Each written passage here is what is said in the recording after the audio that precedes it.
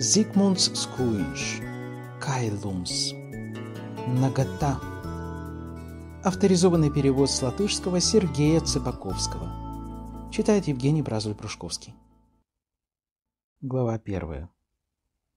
И все же странно, что ни в одном из своих писем она полсловом не обмолвилась о доме, в котором живет, ну хотя бы этаж назвала, мимоходом упомянула, какой вид из окна открывается. Мысль эта поразила его, но пришла она так, между прочим. Неудивительно, он волновался, оттого и мысли являлись бессвязные, бестолковые. На каждую площадку выходило по четыре двери. Значит, квартира 15 на четвертом этаже. Спокойствие, незачем лететь, как угорелому, подниматься надо медленно. Досаднее всего было то, что при малейшем смущении он мучительно краснел. Ему начинало казаться, что его и без того огромные уши становятся еще больше, тяжелее и отвисают, словно портьеры. А представив собой потешный вид, он окончательно терялся, превращаясь в полное посмешище. Так осрамиться при первой же встрече было бы непозволительно. Удивительно, что Марика, чей образ ему рисовался совершенно отчетливо, эта Марика — в его воображении обитала в некой умозрительной среде, выступая и действуя как бы на условной сцене с затемненными кулисами. Например, он не имел понятия об этой лестнице. А ведь Марика изо дня в день поднималась и спускалась по ней. Точно так же ничего он не знал о пятнадцатой квартире на четвертом этаже, где по утрам она просыпалась, а вечерами ложилась спать, где гладила свои платья, смотрелась в зеркало, читала письма. Лишь в одном из писем она вскользь упомянула, что кроме нее в комнате живут еще три девушки. И все. Откровенно говоря, общежитие он представлял себе несколько иначе. С длинным коридором, со множеством белых дверей по обе стороны, со сопорливой старухой дежурной, с неизменным шкафчиком для ключей у входа. А тут был обычный многоквартирный дом, являющий собой блестящий образец оскудения современной архитектуры. Ну, конечно, стоит ли описывать подобный дом? Впрочем, сейчас все разъяснится. Главное — не выпадать из роли. Смирив волнение, он попытался вспомнить последнее письмо Марики, полученное им накануне долгого путешествия домой. Письмо он выучил наизусть, по многу раз его перечитывая в поезде и стараясь себя убедить, что это так, скуки ради, а на самом деле он сгорал от нетерпения, был сам не свой от свободы, от счастья и окрылявших его надежд. «Милый Сандер, ты спрашиваешь, что я делаю? Как всегда, жду», то, что со мной сейчас происходит, маловажно и незначительно. Когда мне бывает трудно, я думаю о тебе, перечитываю твои письма и опять обретаю силы. Над Гауей расцвела черемуха. Оба берега точно снегом осыпаны. Маленькую веточку вложила в конверт. Не знаю, сохранит ли аромат, когда получишь. Дни стоят теплые, лепестки начинают уже осыпаться. Воскресный день был особенно жарким — Продавец кваса на вокзале, старый Мартин, никак не мог отдышаться, все ворчал. Ну и пекло, ну и жара, хоть штанины закатывай. Работала вечернюю смену, потом профсоюзное собрание, а по дороге домой забежала узнать, нет ли от тебя письма. Не было. И грустно стало. Долго не могла заснуть, потом задремала, а ночью проснулась от страшной мысли. Вот уже вторую неделю от тебя ни строчки. Но я продолжаю писать, как обычно, Тогда и время летит быстрее, приближая миг, которого жду со страхом и надеждой. Он, конечно, находился в более выгодном положении. Заранее мог подготовиться, все обдумать, а Марика о его визите не имела ни малейшего представления. Вдруг застанет ее неодетой или, скажем, с бегуди в волосах. Может, это и не совсем прилично вот так свалиться, как снег на голову. Может, Стоило из Риги послать телеграмму, предупредить, дать возможность хотя бы выстоять очередь к парикмахеру на худой конец, просто подкрасить губы. А если ее не окажется дома? Вполне вероятно. Первая смена с семи до двух. Он придирчиво оглядел свое отражение в оконном стекле, провел ладонью по лицу, щеки гладко выбриты, еще попахивают одеколоном, будто только волосы топорщатся, ну, тут уж ничего не поделаешь, придется подождать, пока отрастут. И костюм сидел сносно, хотя ему, привыкшему к военной форме, казалось, что все на нем болтается, провисает, пуговицы, что ли, слишком свободны. На лестничной площадке третьего этажа сидела девушка в ситцевом платьице, щеки круглые, груди круглые и коленки круглые. Посасывала конфету, читала книжку. Он хотел ее обойти, но девушка неожиданно встала, устремив на него холодный пристальный взгляд. «Простите», — пробормотал он. Девушка молчала. «Пятнадцатое должно быть выше?» «Да». «Спасибо». «А тебе что, нужна пятнадцатая?» «Да». Глянув через плечо, он заметил, что девушка продолжает за ним наблюдать. Где-то пахло жареной рыбой. В луче света, проникшем на площадку, роились золотистые пылинки, жужжали мухи. Здесь. Притолока ссохлась, между стеной и дверью образовалась щель. Он постучал, наверное, слишком громко. Это эхо прокатилось по лестнице до самого низа. За дверью ни малейшего шороха никто не спешит открывать. «Напрасно стараешься!»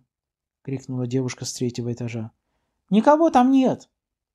Я кулак отбила, не достучалась. Пятнадцатую? Ну, кто в такой день сидит заперти? Девчонки на речку убежали. У тебя случайно нет ключа? Какого ключа? Да все равно какого. Я к себе не попаду. Нет. Ну хотя бы ножа, может, отомкнули бы. Очень сожалею, но я по этой части не специалист. Зато я специалистка. Был бы только ножик. В дверной щели чуть посветлело, видимо, отворили какую-то внутреннюю дверь. Вроде шаги послышались, он снова постучал. «Кто там?» Вопрос прозвучал не слишком учтиво, но голос приятный. Возможно, это Марика. Он чуть было не назвал себя, но в последний миг удержался. Разве так на сцене должен появиться Александр Драйска? Поэт и повеса, тяжелым танком, проходивший огонь и воду и любые стены. «Кто там?» «Стоит ли говорить, все равно не поверите». «Послушайте, перестаньте валять дурака!» А я и не думал валять дурака. «Что вам нужно?» «Немного внимания с вашей стороны. Здесь проживает Марика Витыня». «Обождите!» Он узнал ее сразу. Едва увидел в полутьме прихожей. Сходство с фотографией поразительное. Прямой нос, высокий лоб, тонко очерченный подбородок. Лишь цвет волос обманул ожидания. Он был готов к чему угодно, только не к этой пшеничной желтизне. Застегивая свой легкий халатик, она смотрела на него с настороженным любопытством, босой ногой норовя угодить в тапок, в попыхах не успела надеть. Неужели она все еще не догадалась? Самонадеянность Марики, казалось, растет на глазах, в то время как его наигранная смелость с такой же быстротой улетучивалась. «Разрешите представиться.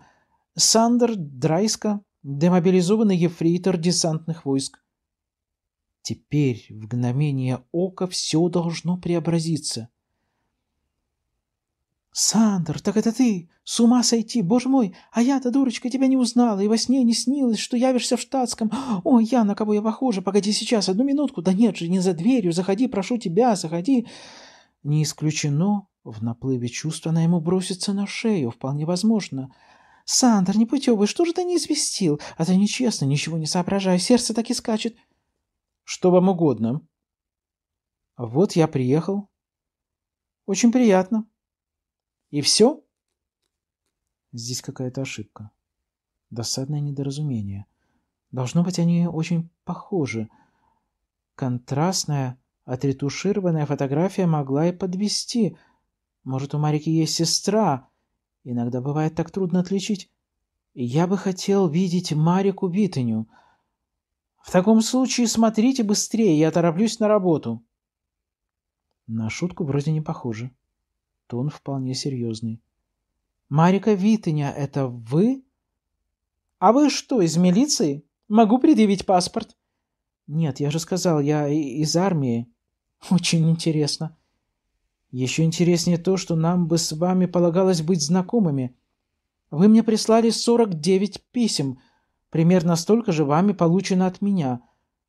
Писем? Каких писем? До самых обыкновенных. И куда же я их посылала, позволено будет узнать? Воинскую часть. На ходу, застегивая сорочку, в передней появился молодой человек, высокий, широкий в плечах, узкий в талии, вроде на него похож и чертами лица, и походкой. Что-то в них было общее. — В чем дело? — спросил молодой человек. По всему было видно ему немного не по себе. — Иди сюда, Варис. Тебя интересует научная фантастика? — Может, пригласить человека в комнату? Сдается мне, ваш разговор затянется. И молодой человек улыбнулся, лукаво прищурив глаза. Она тотчас отступила в глубину прихожей, и это движение, видимо, означало приглашение пройти. Молодой человек по имени Варис, засунув руки в карманы черных в обтяжку брюк, пропустил обоих вперед, всем видом давая понять, что его дело сторона, и он в их разговор встревать не собирается. Действительно, в комнате было четыре кровати. Одна из них наспех застелена пледом. У раскрытого окна трепыхались нарядные нейлоновые занавески — между трехстворчатым шкафом и сложенными горкой чемоданами затаилась радиола одного из последних выпусков. «Прошу садиться», — сказала Марика. Тем не менее, все остались стоять. «Итак, я написала вам 49 писем». Досада ее прошла. Марика как будто даже повеселела. И по этой быстрой смене настроения можно было заключить, что характер у нее не злобливый и легкий. «Да, журнал Лесма напечатал мои стихи», После этого вы стали писать мне. Последнее ваше письмо я получил две недели назад. И вы могли бы показать эти письма? К сожалению, нет. Остались в Риге. Слишком толстая пачка, не носить же при себе. Но я могу показать фотографию. Она была прислана с третьим письмом.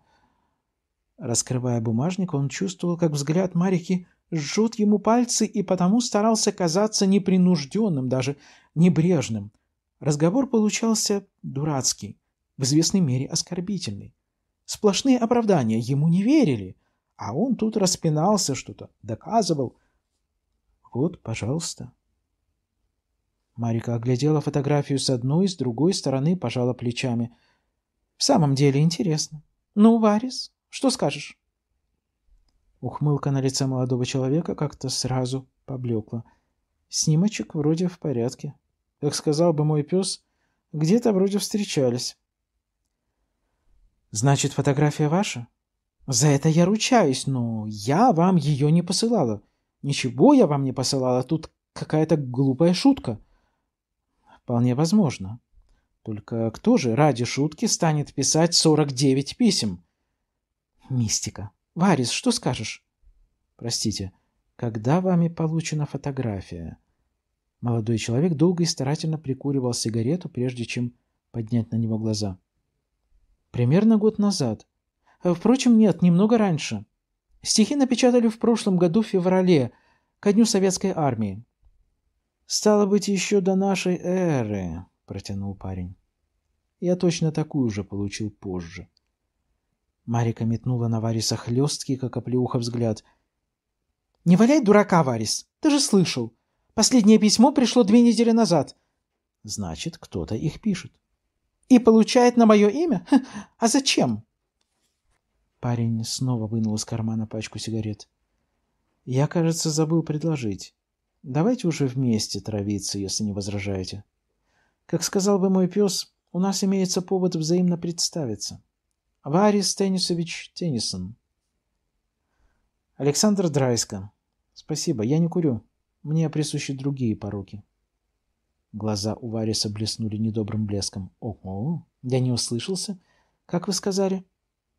Мне присущи другие пороки.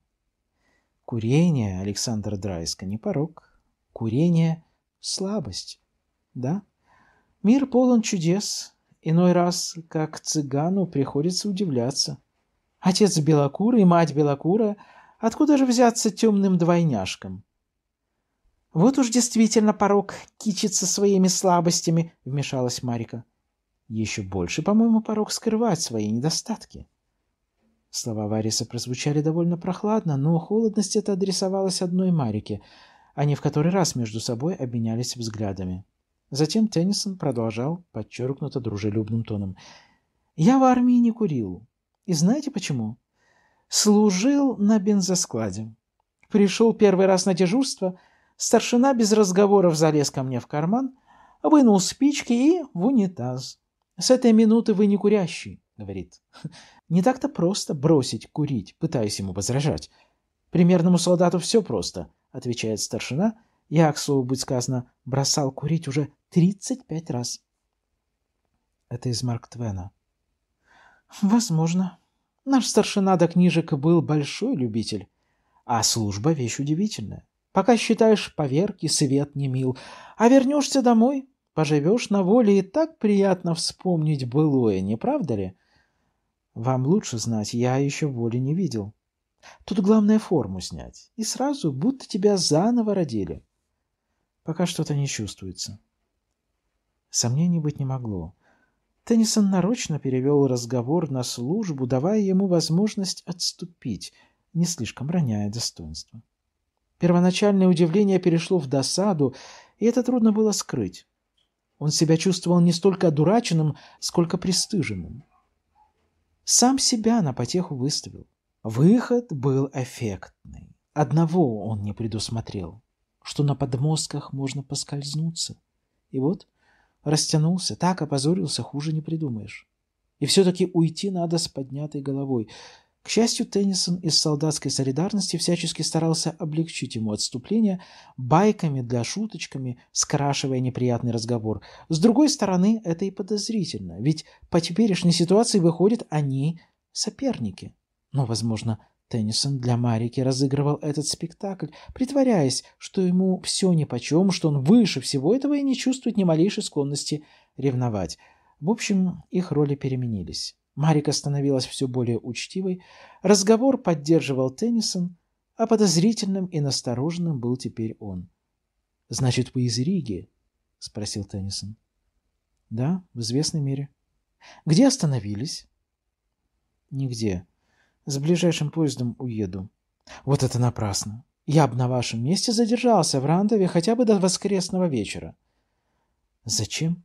— По целому ряду причин. — в пятницу вечером вернуться в душную Ригу было бы непростительной глупостью. Начнем хотя бы с этого. Во-вторых, из чистого любопытства. А вдруг отыщется сочинитель писем? — Ты хочешь сказать сочинительница? — поправила Марика. — Ну хорошо, допустим, сочинительница. Теннисон сохранял удивительное спокойствие. В-третьих, никогда и ни в чем не надо торопиться. Особенно, когда речь идет о женщинах и все-таки я уеду. На вашем месте я бы остался, Александр Драйска. Честное слово. По крайней мере, до воскресенья, до вечера. Верно, Марика? А почему бы и нет? Рандово — чудесный городок. За тонкой дверью на лестнице послышались голоса. Немного погодя раздался громкий стук, и кто-то, просунув голову в прихожую с преувеличенной вежливостью, осведомился, можно ли войти, после чего в комнату ворвались три совершенно разнородные особы. Кокетливая, стройная и, несомненно, миловидная брюнетка, словно сошедшая со страницы журнала «Мод». Вторая — невысокая, угловатая, но довольно бойкая, такая пацанка-переросток. И третья — нечто робкое, смущенное, с косичками на школьный лад. «Ну вот и отлично», — сказала Марика. «Боевой расчет каюты в полном составе» дополненный кое-кем из посторонних. Стройная брюнетка стрельнула подведенными глазами. «Да, у нас гость. Знакомьтесь, Александр Драйска, демобилизованный ефрейтор десантных войск. Я правильно вас представила?» «Как по книге». «Очень приятно», — брюнетка театральным жестом протянула руку, словно для поцелуя. «К, К, Камита, Канцене». Школьница с косичками зарделась еще больше и тихо обронила. «Берута». Пацанка-переросток глянула из-под лобья и с хрипотцой выдавила. Цауна. «Быть может, Александр кому-то уже знаком?» Теннисон усмехнулся своей плутоватой, котовской улыбкой. «В каком смысле?» — отозвалась Камита. Теннисон ответил не сразу, продолжая сверлить глазами девушек. Все, казалось, были удивлены. «Он пишет стихи. Печатается в журнале «Лисма». «Да что вы! Как здорово!» Камита, приосанившись, выпитив грудь, встала перед ним. Подумать только, в глаза не видела живого поэта. Прошлой осенью один выступал в Доме культуры, но как раз была моя смена. И знаете, как он о себе выразился? Я, говорит, цвет картофельный. Потрясающе, правда? Цвет картофельный и с темными кудрями. Господи, да у нас в Рандове и сорта такого нет. А скажите, вы очень своеобразны? С точки зрения агрономии? Ну, такой, как Пушкин или Евтушенко, со всеми слабостями, недостатками. Не думаю, я типичный начинающий поэт. Что значит типичный? Поэт не может быть типичным. Тогда бы поэтами пруды прудили. Даже у нас в Рандове. Ты, Камита, жутко заблуждаешься, если думаешь, что в Рандове нет поэтов. Цауна, присев на край кровати, машинально постукивала коленками друг о дружку. В исполкоме работает Язып Рускулис, а в доме престарелых инвалидов уборщица сочиняет. Точно тебе говорю. «Рускулис!» — прыснула Камита. «Этот уволень, очкарик? Мамочки родные, держите меня, я падаю. Уж он-то, милая моя, и на картофельный цвет не потянет, втиснутый в брюки клубень. Вот он кто!» «А я ваши стихи помню», Берута метнула в него взгляд и, тотчас, смутившись, отвернулась, глянула еще раз уже смелее, даже с таким задором. Первое стихотворение называлось «Полет на рассвете». Второе — про солдата на привале. Он лежит в траве, смотрит на облака и видит фильм про дом родной. Фильм старый, перевиданный, сейчас оборвется командой «Встать». А дальше про девушку, от которой вы ждете письма. «Ну-ну, так что ж там дальше, товарищ поэт, будьте человеком!» — набросилась на него Камита. «Не все ли равно? Не помню». «Свои-то стихи?» «У меня исписано семь общих тетрадей». «Это не самое страшное», — Теннисон скорчил скорбную мину. «Всего обиднее то, что поэт досаднейшим образом намерен нас покинуть. С ближайшим поездом». «Не бывать тому!» Голос Камиты был преисполнен гнева и непреклонной решимости. «Не позволим пренебречь нашей прекрасной Рандовой, тем более, что завтра день моего рождения. По всему случаю, считайте, расписание объявляется недействительным, все поезда из Рандовы отменяются. В этот день я в мыслях буду с вами. Боюсь, что в мыслях вы не сможете мне заменить хорошего партнера в танцах. Зато уж наверняка не отдавлю вам ноги. Берута как будто все еще старалась припомнить забытые строчки стихов. «Нет, правда, вы уезжаете?» — проговорила она. «Какая жалость. Вас в Рандову привело какое-то важное дело? Должно быть, приехали познакомиться с нашим комбинатом?» «Нет, просто вздумалась прокатиться. Давно поездом ездил». «Неправду вы говорите. Стараетесь казаться веселым, а сами чем-то раздосадованы. По глазам вижу». А раз видишь, чего пристала к человеку? Ты что, прокурор? презрительно бросила Цауна, уставившись в потолок. Будто ты всегда правду говоришь. Значит, есть на то причина. И вообще, пошли вы все со своими расспросами. Что за провинциальная манера? Что бы там ни было, стояла на своем комита, мы вас не отпустим. Запомните, завтра в семь вечера вам надлежит явиться на берег Гауи к спасательной станции. Торжество намечено провести под открытым небом. Начнется точно в назначенное время. Придете? Нет. Спасибо. Все ясно. Мы ждем. Выбравшись из квартиры, он вздохнул с облегчением и про себя подумал, что отделался сравнительно легко. Словно наглотавшийся воды утопающий, нетвердым шагом выбрался он на спасительный берег. Нечто похожее он испытал в школе после выпускного экзамена по химии — Теперь все позади. Теперь сам черт ему не страшен. Он вырвался. Дверь за ним затворилась. Как хорошо. А уши еще пылают. Сбегать по лестнице было приятно. Было в том даже какое-то упоение. Ноги сами несли его. Он ринулся вниз, словно вода в открытый шлюз. А может, он попросту убегал с позором. У окна на лестничной площадке стояла девушка. Никак не попадет в квартиру. Тот миг, когда он поднимался вверх по лестнице, как давно это было, он успел начисто забыть. А эта бедняжка все стоит. Так она, пожалуй, состарится на лестнице. «Ваши дамы еще загорают?» Пройти молча показалось неприличным, хотя бы потому, что перед этим они перекинулись несколькими фразами. Нет, в самом деле все в порядке. Вот он идет спортивным, бодрым шагом, он улыбается, он шутит. Конечно же, пустопорожнее начало его разговора с Марикой она слышала. Загорают, а я книжку дочитала. Ну что, встретил? По крайней мере, разузнал.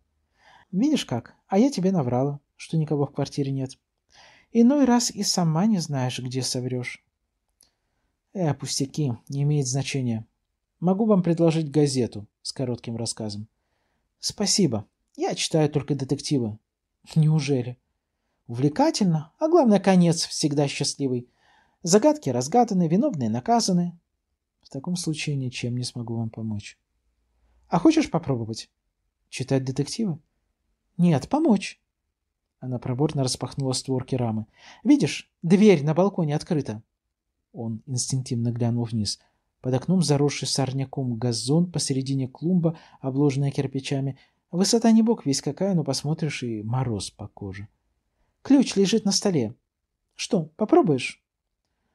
Она произнесла это с нарочитым безразличием, будто просила достать с полки чемодан или еще что-то более незначительное. «Где, на балконе?» Неужто она всерьез? Ничего невозможного, конечно, нет. С виду карниз довольно широк. О чем речь? Один момент. Такие пустяки. И как бы он себя великолепно чувствовал, небрежно перекинув ключ с балкона. Покрепче ухватиться за перила, перемахнуть через балюстраду, и ты в комнате. Ответить «нет» язык не поворачивался. Однако рисковать из-за такого пустяка — другое дело, если б, скажем, речь шла о спасении человека. Все ясно, не полезешь. Да вот думаю, стоит ли. Уж я платить не собираюсь. А ты не здешний, сразу видно. Это почему же? Больно долго соображаешь. И не знаешь, как парни к девчатам в общежитии через балконы лазят. Смотри, как это делается. Она высунулась из окна, перебросила на балкон книжку. Затем скинула босоножки, шебырнула их туда же. Подтянула кверху ситцевое платьице, блеснули округлые ляжки, белые штанишки и миг спустя она уже висела на карнизе. Все произошло настолько быстро, он и опомниться не успел. Хотел было удержать ее, да поздно. Снизу донесся сдавленный крик. «Смотрите, где Либо! Держись ты, шальная!» Когда он снова поднял глаза, она уже собирала свои вещи на балконе. «Ну, видишь, все просто, правда?» «Да, как в цирке. У вас талант». А про себя подумал. «Шальная. Ей-богу, шальная» и побежал вниз по лестнице, прислушиваясь к топоту собственных ног. Thank you.